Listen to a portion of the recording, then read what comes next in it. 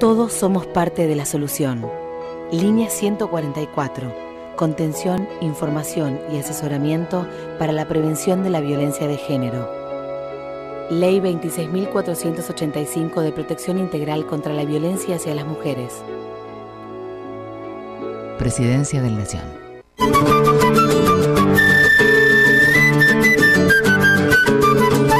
Todo el canto del folclore latinoamericano está en AM1010 Onda Latina.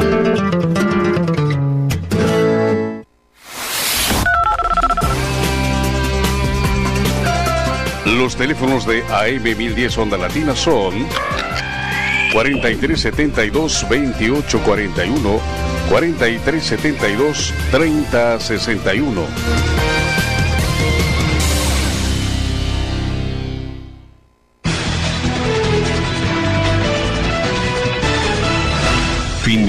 Publicitario.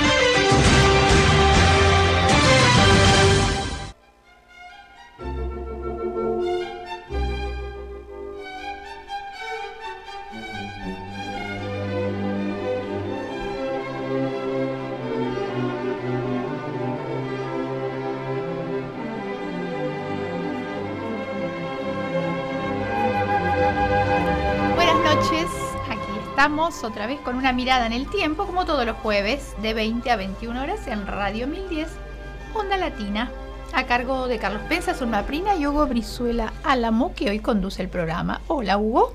Buenas ¿Qué noches. Un gusto estar de Igualmente. nuevo y, y conducir de nuevo un programa Muy bien. de una mirada en el tiempo. Así es.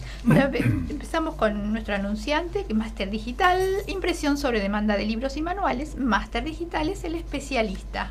En Colón 81, Ramos Mejía, Buenos Aires. El teléfono es 46 56 90 62. Y en Facebook, Máster Digital, impresión de libros.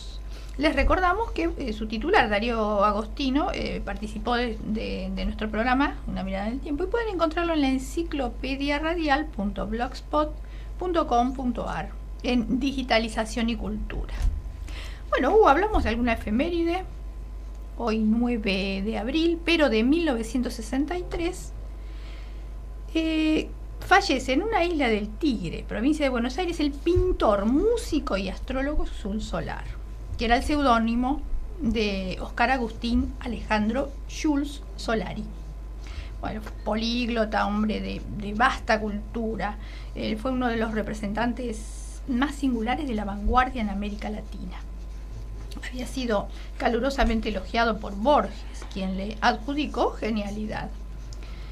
Eh, Sul Solar estudió arquitectura en la Facultad de Ingeniería. Al cumplir los 25 años viajó a Hong Kong y recorrió algunos países europeos como Inglaterra, Francia e Italia. En Milán fue donde conoció a, a Petoruti, el pintor modernista Emilio Petoruti, a quien le mostró sus dibujos que había realizado eh, a partir de 1914. Y en su viaje a Berlín ya se intuía su contacto con el dadaísmo. También recibió influencia del pintor Paul Klee. Fue estudioso de la astrología, la cábala, el I la teosofía, la filosofía y las religiones del antiguo Oriente, India y el mundo precolombino.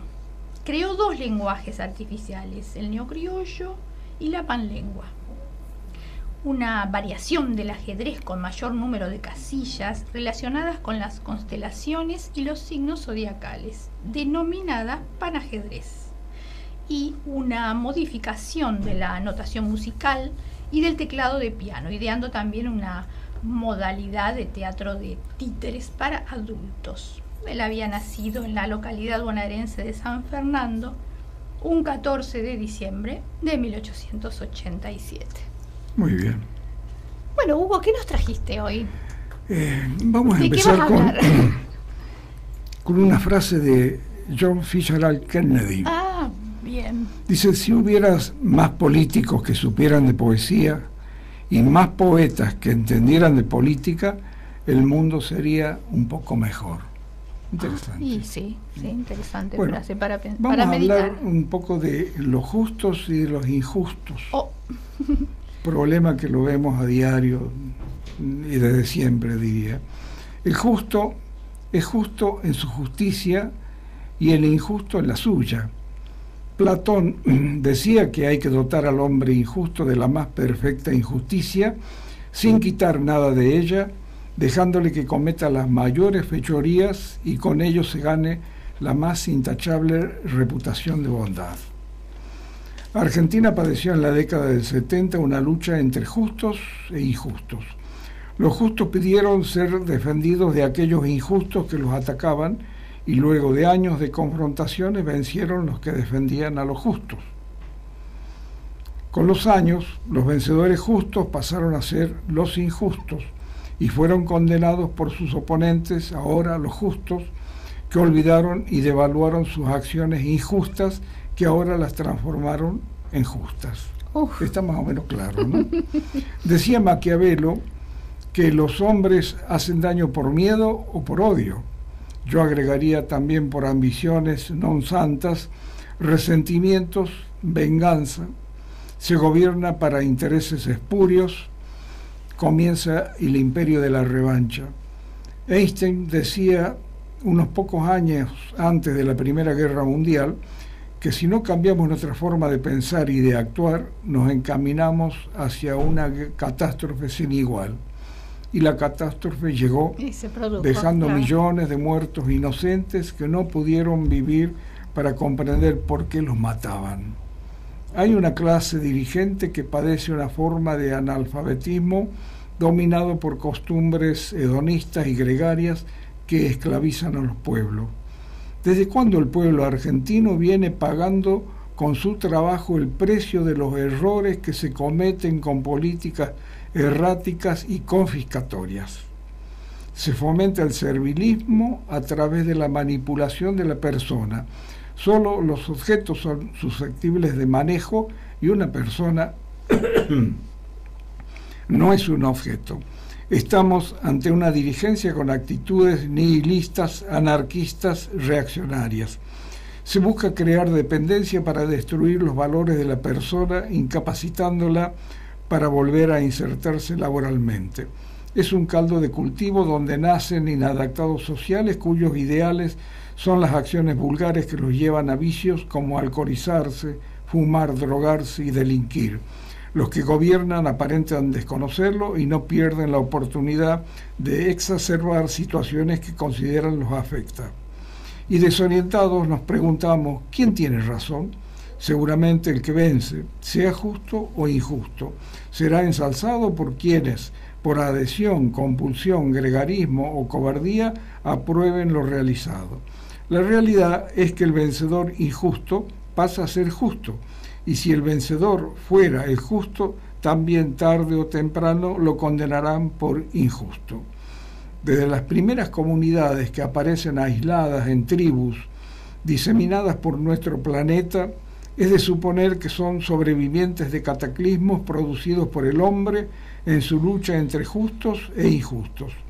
Destruido, aniquilado, abandonado a los desastres naturales de los que es responsable, empieza una nueva era desde la ignorancia y pasividad del manso primitivismo, mientras el planeta se reacomoda a sus órdenes naturales impuestos por la justicia de la creación no está lejano el día en que acabemos con nuestro hábitat natural.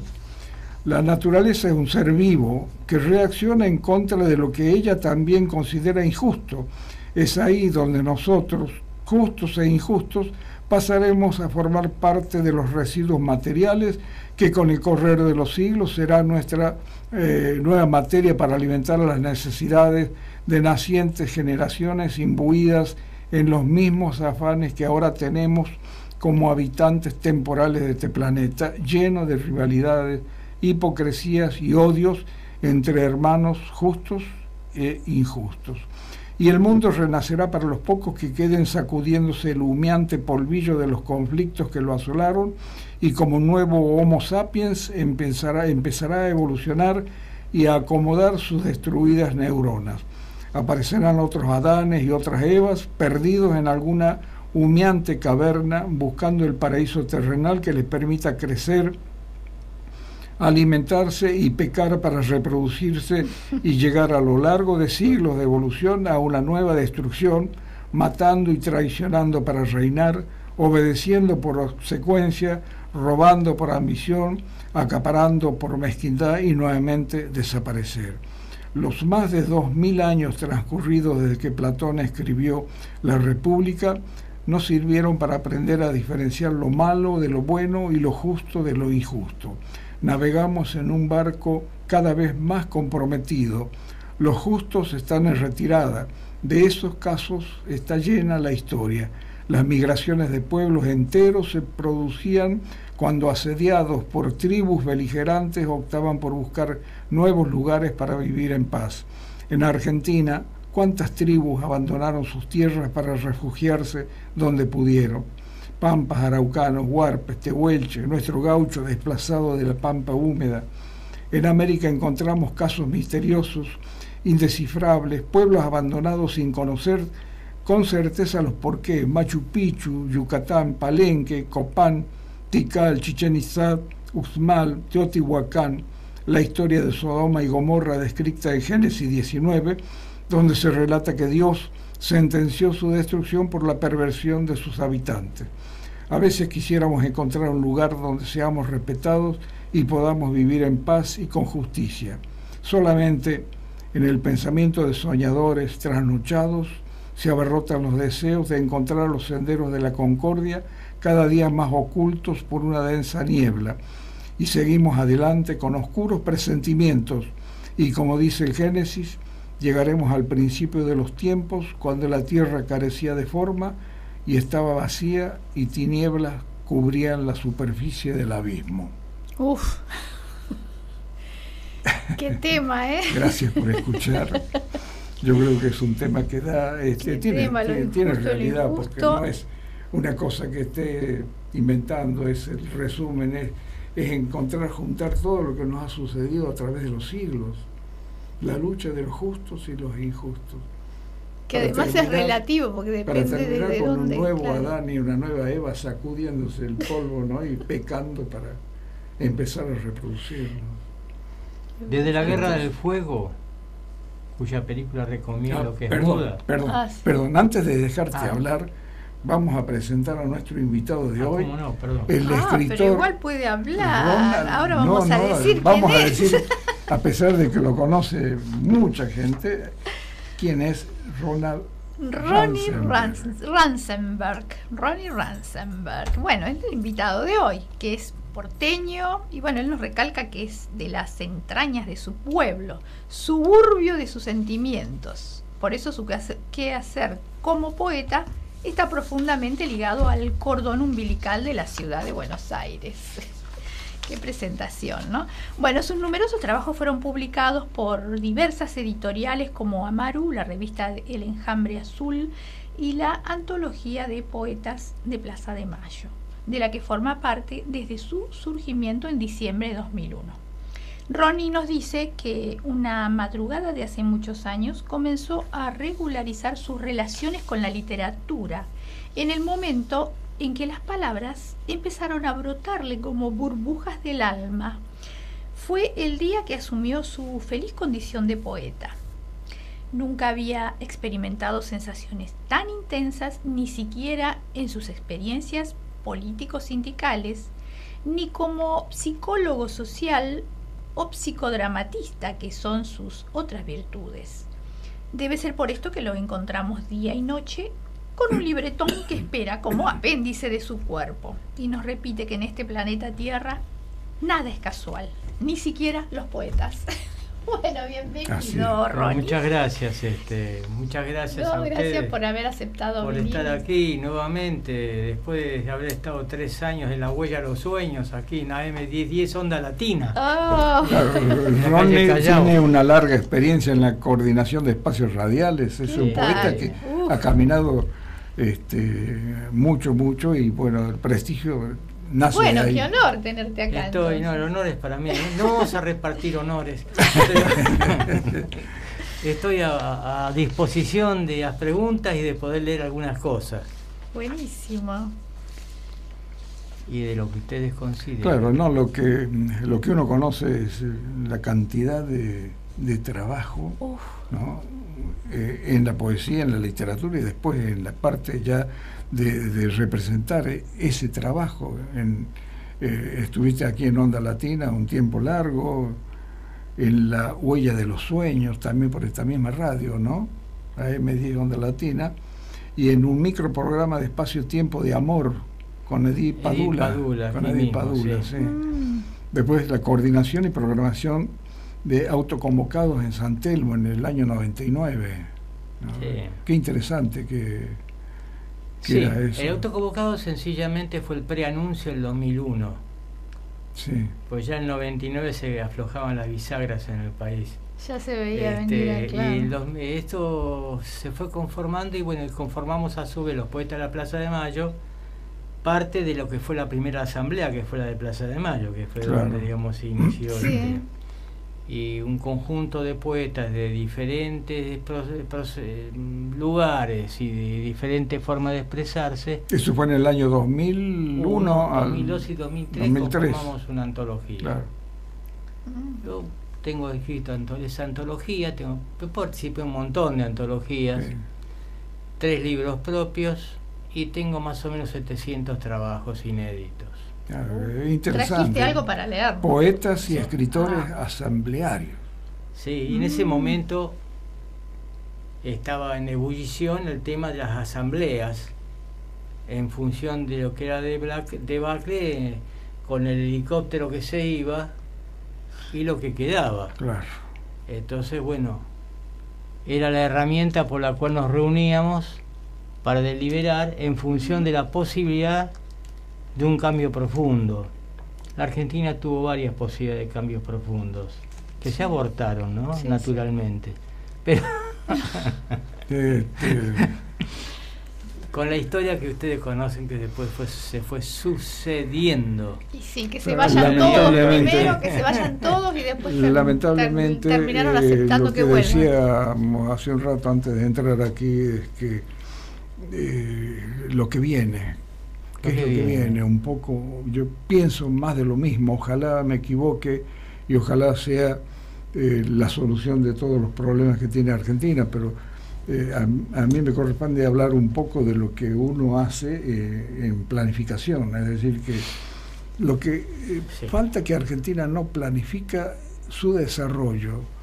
Eh, las políticas se improvisan. Entonces, cuando yo escucho los discursos de los candidatos, eh, el discurso dice voy a hacer tal cosa, pero no es decir, bueno, lo voy a hacer porque cuando eh, se ganan las elecciones eh, viene la realidad y dice, bueno, ¿cómo tengo que hacer esto? Porque no lo voy a poder hacer.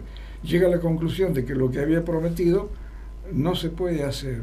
Entonces, por eso es que eh, de alguna forma tienen que comprender de que hay que planificar, hay que hacer un plan de desarrollo, no un partido político, sino todos los partidos políticos, porque es para todos los argentinos. Sigue tú con las asambleas que empezaron No. en aquella vez que fue una crisis terrible. Claro, fue una crisis terrible y que podía ser saludable o no. Como todas las crisis. Las crisis son Significa momentos. cambio, claro. Esto es como cuando uno toca el fondo de la pileta, ¿no es así? Sí, efectivamente. Siempre cuando uno, cuando uno emerge, bueno, este, está el tema de la puede posibilidad. generar de- algo bueno, claro, Exacto. algo positivo. Pero llegamos al día de hoy que yo coincido totalmente. Este, este, esto es como estamos entre lo malo y lo peor o lo peor y lo malo, en función de que hay algo que es muy interesante lo de la planificación, sumamente importante como el piso de un edificio, ¿no? Sí, señor. Pero está el tema de no la naturaleza humana solo, sino la corrupción. Porque la planificación, se me ocurre, necesita de gente honesta también. Mm, Gente honesta. Obvio. eh. ¿Quién administra? Eh, ¿Quién bueno, controla? en la Es una planificación, pregunta- es una eh, no, en la planificación ya queda establecido quién administra. Claro. En la planificación dice todo lo que se tiene que hacer y cómo se tiene que hacer. Bien. Inclusive hay una parte en toda planificación que se llama camino crítico, es decir, qué pasa cuando esto que, tiene sus inconvenientes, sus dificultades y sus riesgos, llegue a fallar. Entonces la planificación está previendo el camino crítico, cómo tengo que salir para llegar adelante, porque al final un gobierno lo que tiene, lo que corresponde que haga cuando termina su mandato, entrega y dice, señores, esto es lo que hice y este es el saldo que tengo en la caja. Pero aquí se van y quedan las deudas por todos lados y arreglate Y nadie como rinde puedas. cuentas, claro. Le- el plantel de la gente que depende del, del Estado es enorme, Sí. es enorme. No sé qué tareas cumplen, se inventan tareas. Entonces la base es, es la planificación. Y yo como, como un gerente o como presidente de una sociedad anónima o de una empresa o de una cooperativa, tengo que cumplir mi trabajo, mi mandato, y no puedo hacer lo que se me antoje hacer. Tengo que considerar los recursos naturales de cada región, ¿no? y si es posible hacerlo algún poemita que voy a pedir que vamos a dejar de hablar un poco de esto, Sí, cómo y, no. y quiero escuchar un poema muy bello que tienes y que también es consecuencia de estos eh, estos eh, Cómo no. de estos desencuentros entre las sociedades y Y que yo es- me voy a atrever, me voy a atrever, si les parece, este, de este poema que recorrió medio, medio universo y que lo desempolvé dos veces porque ya dos veces el conflicto estuvo, La hablando luna, de Gaza, la luna ¿no? de Gaza. Si lo podés leer vos. es Ah, una bueno. belleza Muy bien. Lo querés ver, Por supuesto. Bueno, la luna sobre Gaza. Llora la luna sobre Gaza, barrida por guerras santas o justas. Lápidas de fuego y humo inundan y cubren tus efímeros sueños de esperanzas. Llora la luna sobre Gaza. Niñas y niños que no ven, no escuchan, no hablan. Terrible es el trueno de hierro que suena, suena y suena. Llora la luna sobre Gaza. Han dicho que es un acto quirúrgico. Su escalpelo de acero se hunde y se hunde en la carne y en el alma de humanos todavía vivos. Llora la luna sobre Gaza. Que la bestia guerrera se envuelva en su oruga de granito, sangre y muerte. Se esfume, se esfume del planeta y el universo para siempre. Llora la luna sobre Gaza. Solo pido por el bajido, solo pido por el llanto del recién nacido. No quiero tres horas de tregua, no, no, no. Solo pido por un segundo, un segundo para siempre. Solo pido una mano, un pan, una caricia y ese bajido de lágrimas y risas en muchas lunas y muchos soles de muchas lunas nuevamente.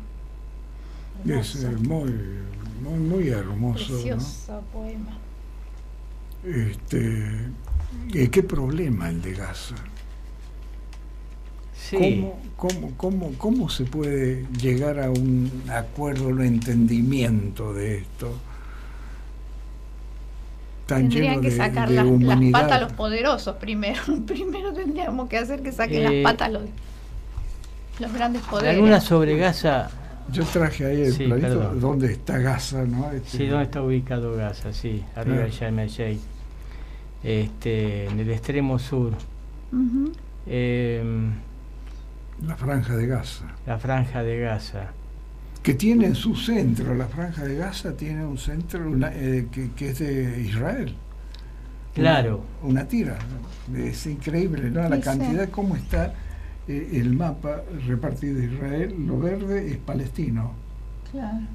Es- pero en realidad cuando Es eh, este, escribo la luna sobre Gaza, eh, podría haber escrito la luna sobre Ucrania, o podría haber escrito la luna sobre Kenia, o Sí. sobre cualquier otro sector Sí, del señor. planeta, que estaba en consonancia con lo que vos decías, que es donde están los conflictos instalados. por razones económicas y geopolíticas, donde está la ambición del hombre, del poder, digamos, que maneja económicamente los destinos nuestros, ¿sí? Y no que permite que la gente se entienda con la gente, porque no conviene. Porque no existe la democracia tampoco. Pero todo es un manejo Porque nunca se dictatorial, consulta. digamos. Exacto. Hay una persona fuerte que y yo cuando veo de, de ambos bandos, cuando veo la juventud que la, le meten un uniforme y un fusil para que salga a matar gente o a Claro. tirar bombas, no porque ese joven quiera tirar bombas y matar gente, directamente es la orden. Aquí te Claro, mandan- son es lo que está inducido. Por eso yo hay un trabajo que tengo aquí, que lo tengo como, no digo un himno, sino como algo que lo llevo en cada libro que voy escribiendo, que vaya escribiendo, y que, me, me gustaría leerlo. y que sí. está eh, ¿sí? también en consonancia con lo que acá se fue diciendo, ¿no? Ah, tenemos Son un las llamado, cosas chicos. incomprensibles. Ah, eh, podemos... Este, ¿Eh? sí, sí, sí. Tenemos un, un llamado. a ver qué- Hola. Hoy está presente, ¿no? Ah, sí, por supuesto. ¿Qué Le tal, pasé, le pasé lista la semana pasada. Ah, sí, estuve buenas, ausente. buenas noches a todos, ¿eh?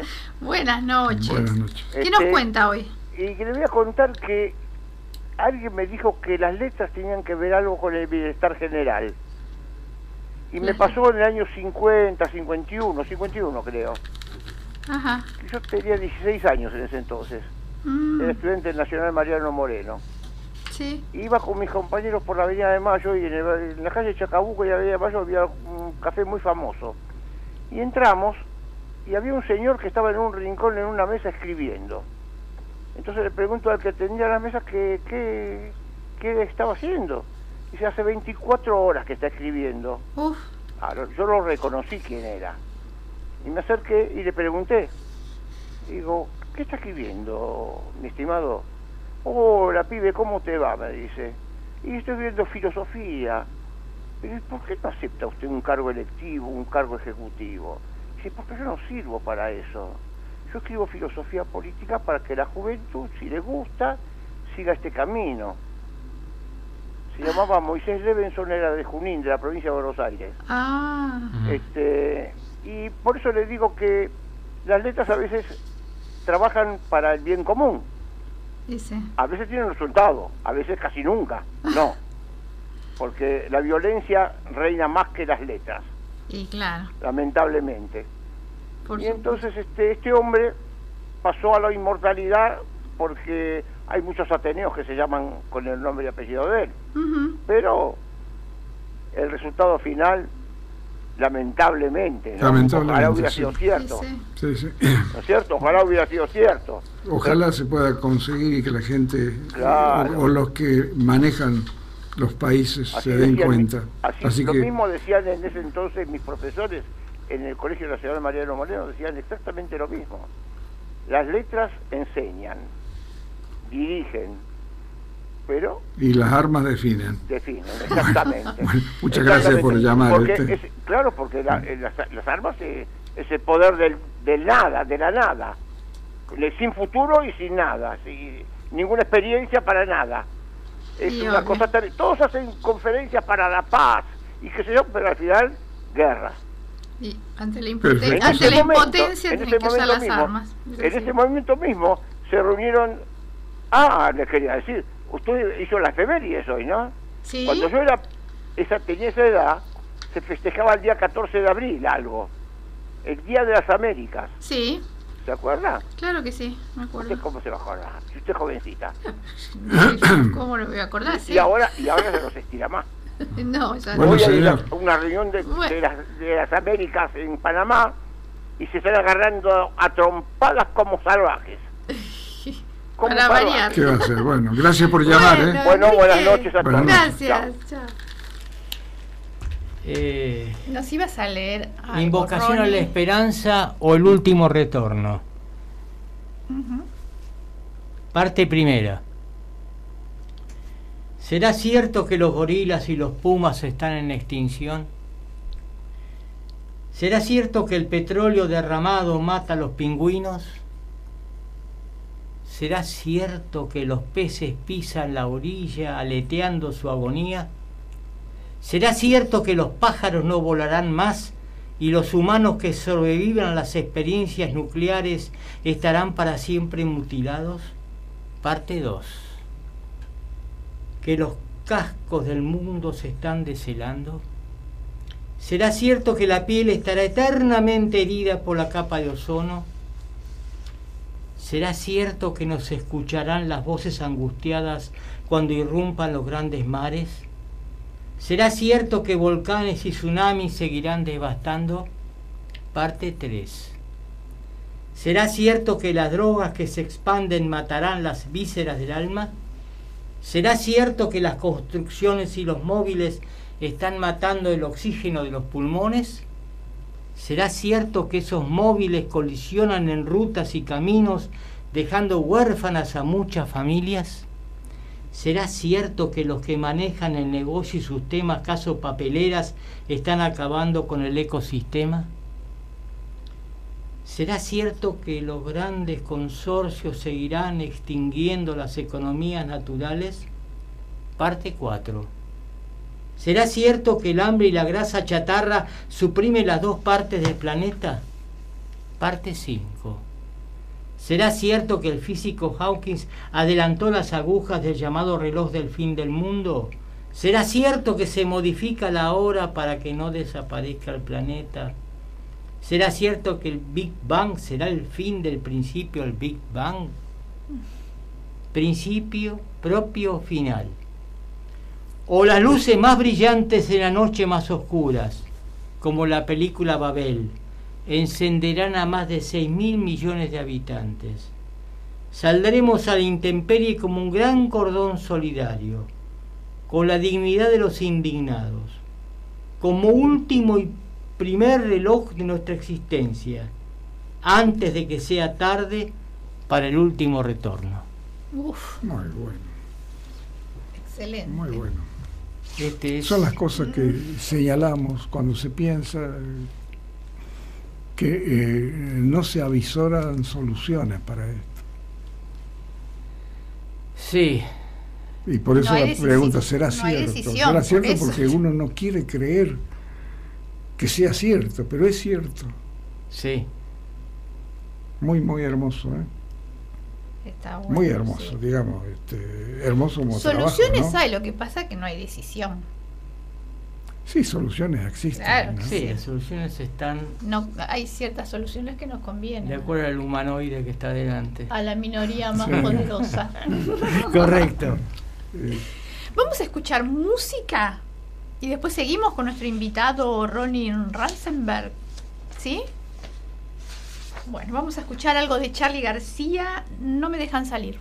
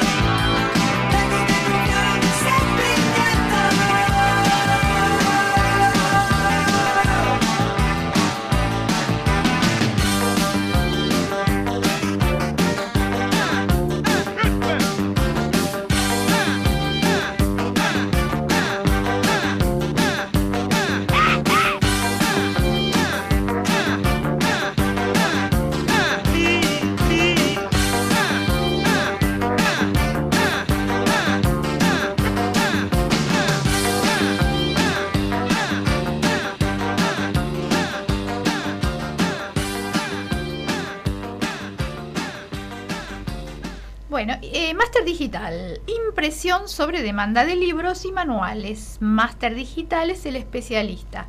En Colón 81, Ramos Mejía, Buenos Aires. Teléfono 46 56 90 62. En Facebook, Máster Digital, impresión de libros. Para llamar a la radio pueden hacerlo al 43 72 28 41 o al 43 72 30 61. Y para ver este programas anteriores pueden ingresar a www.enciclopediaradial.blogspot.com.ar. Bueno, seguimos con nuestro invitado de hoy, Ronnie Ransenberg, en una mirada en el tiempo. ¿Cómo no?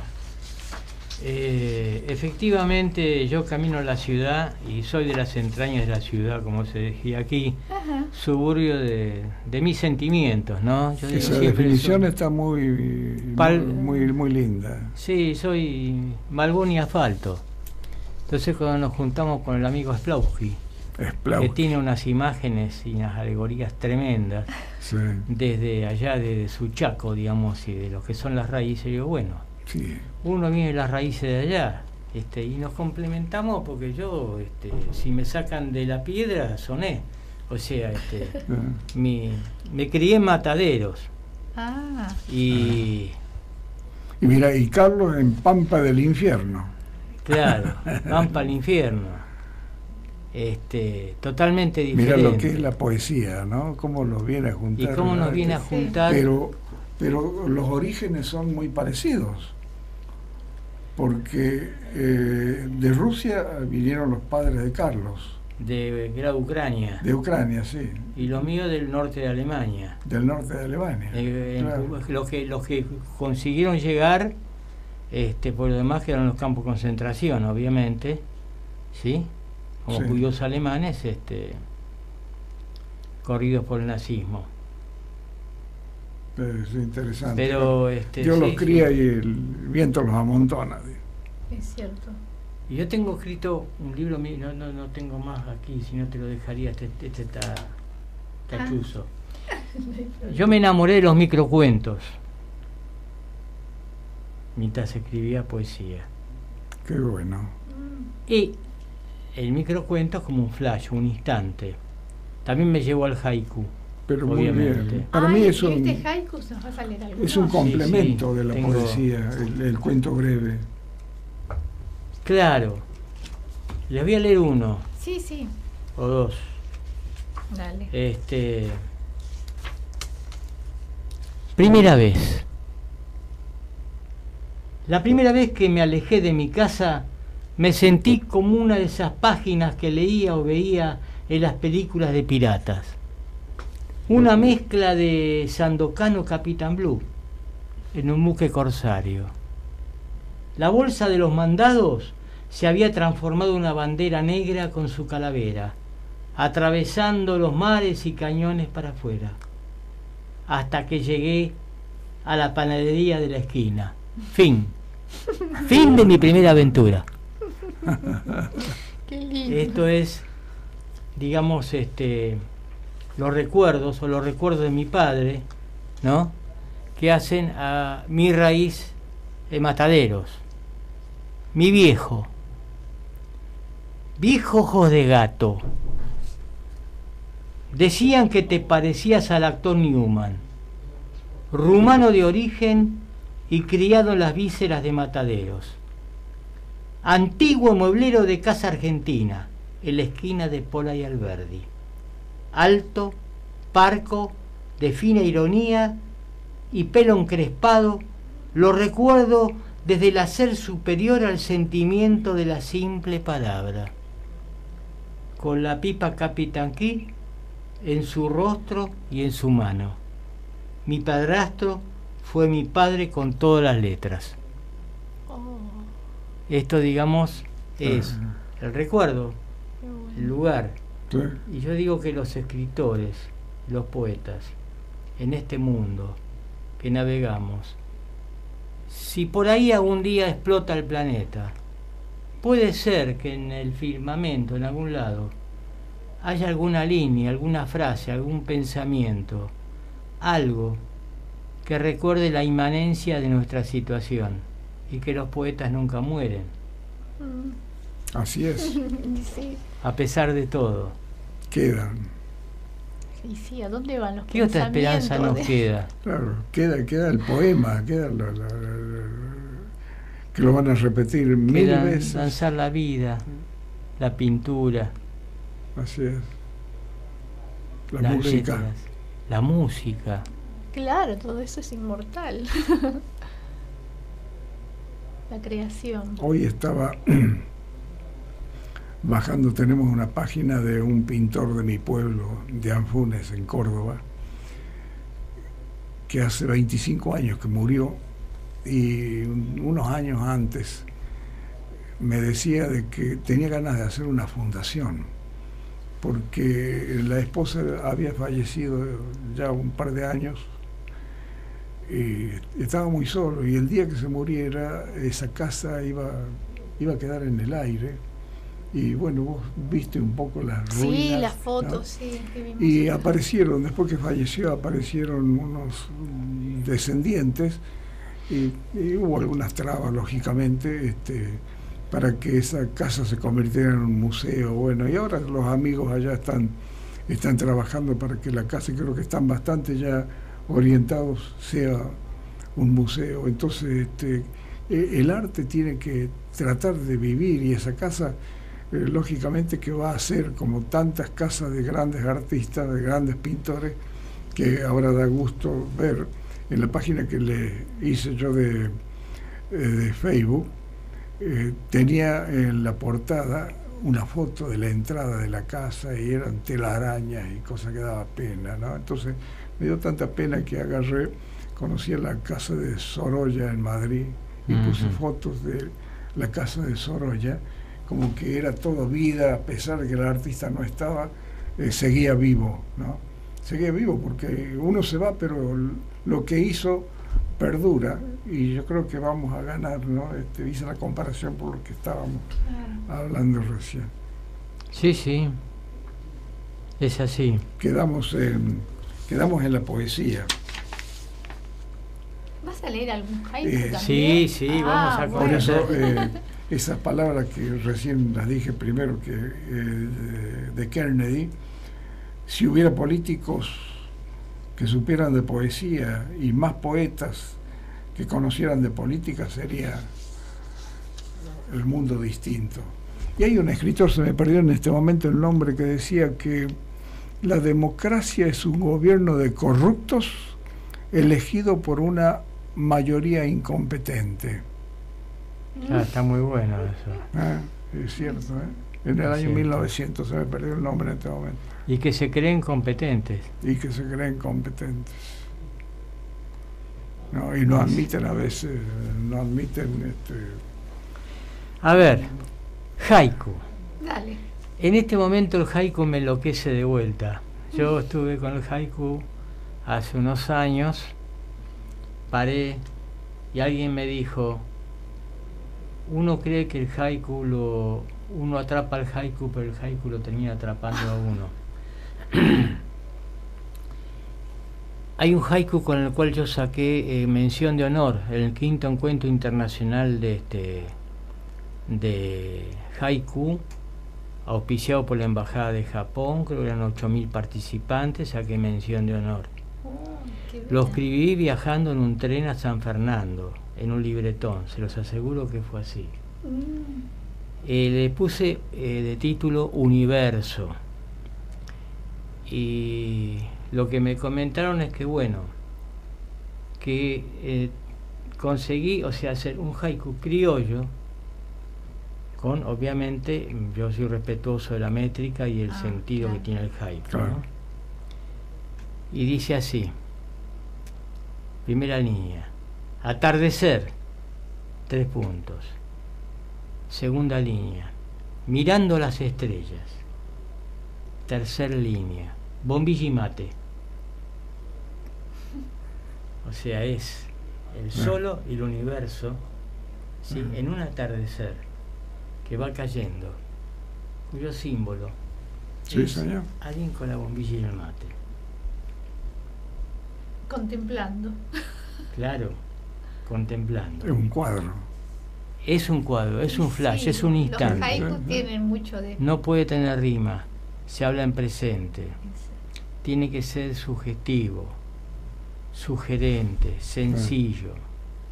Y brindar una imagen. Y te dejo, te dejo, te dejo dos haiku de los nuevos. Les dejo. Bebé. En la oscuridad, alumbrando la luna, nace un bebé.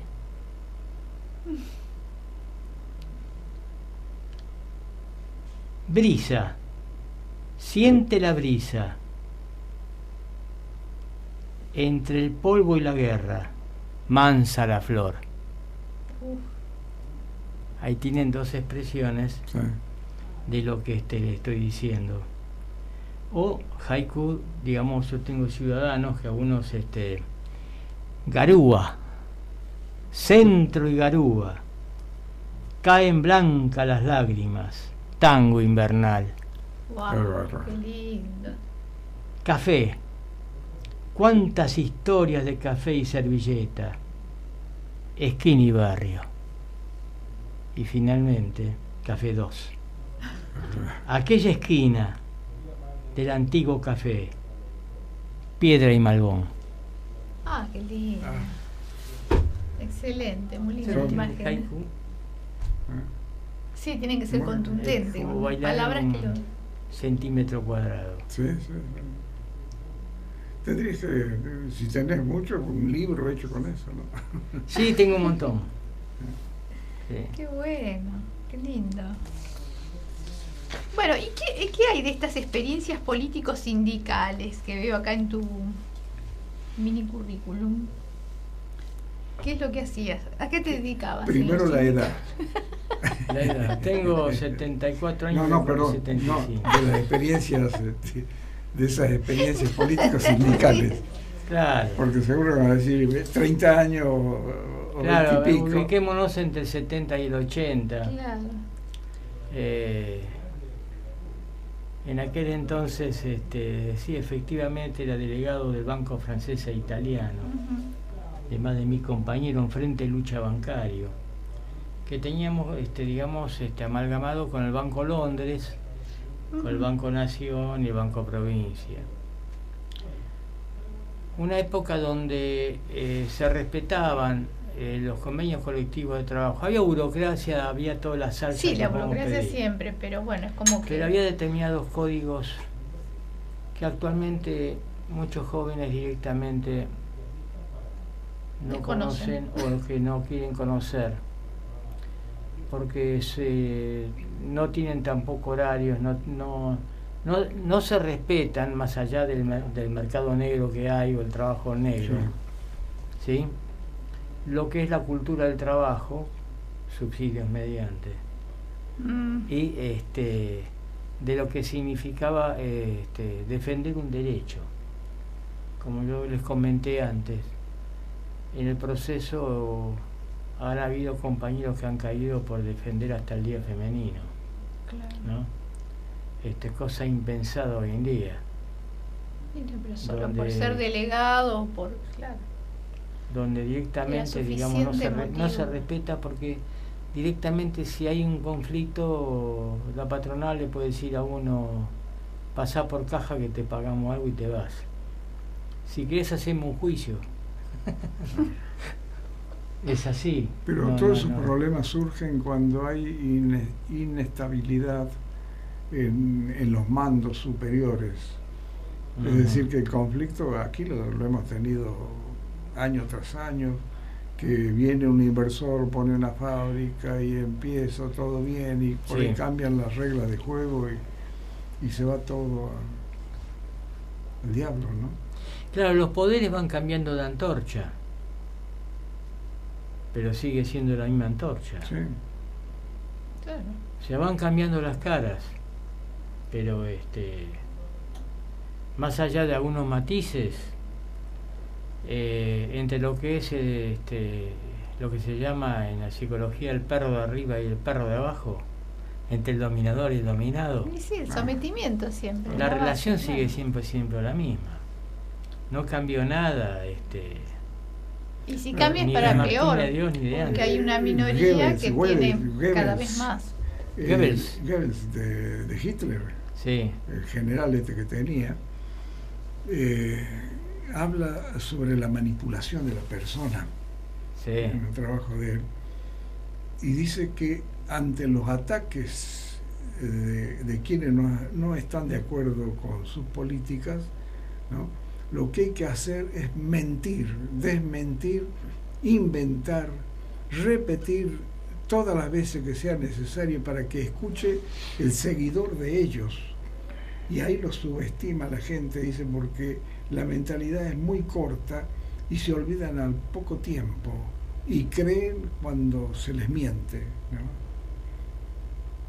Aparte Exacto. tenían un manejo de la psicología. Ah, sí. Claro, se fue perfeccionando, porque ahora es como que hay necesidad de creer en la mentira como si fuera verdad. Efectivamente. Entonces, este, esto es un trabajo que se hace sobre el inconsciente colectivo, ¿no? Ahora, Entonces, vos como psicólogo social este, debes estar actualizado. Sí, a ver, este, es la, es la experiencia que uno tiene todos los días, ¿no? Uno, uno dice, bueno, pero ¿qué me están vendiendo? Es que no se da cuenta al vecino de enfrente de lo que le están vendiendo. Por ahí se da cuenta de lo que le está vendiendo. El tema que necesita creer en lo que le están vendiendo. Aunque sea pescado podrido. Para no tomarse demasiadas molestias. En pensar Es- hay, Hay una angustia también una ahí. crítica o algo medio exigir. incomprensible por ahí, ¿eh? Se nos está yendo Medio el tiempo. incomprensible que no, sí ya nos está pasando el tiempo. Pero vamos un poco cerrando. Eh, Ronnie, es Sí. un gusto grande que hayas estado con nosotros, Para mí también.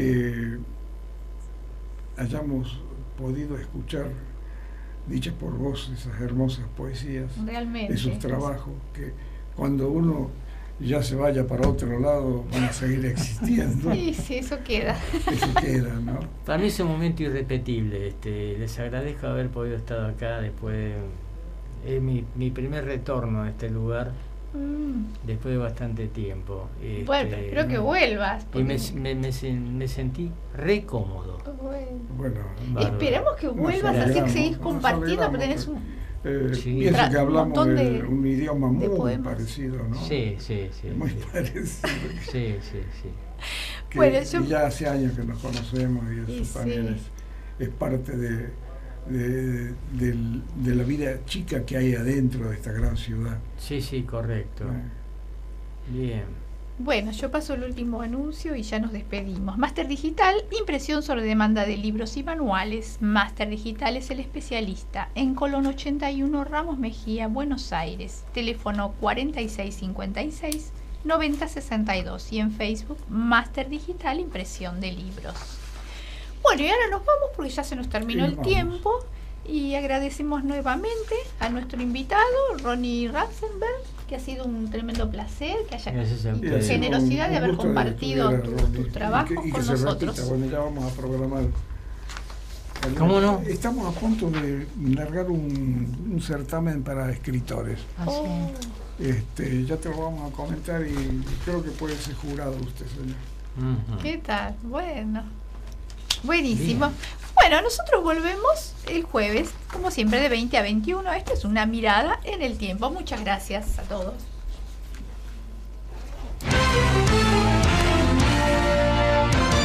Desde la ciudad autónoma de Buenos Aires transmite AM 1010 Onda Latina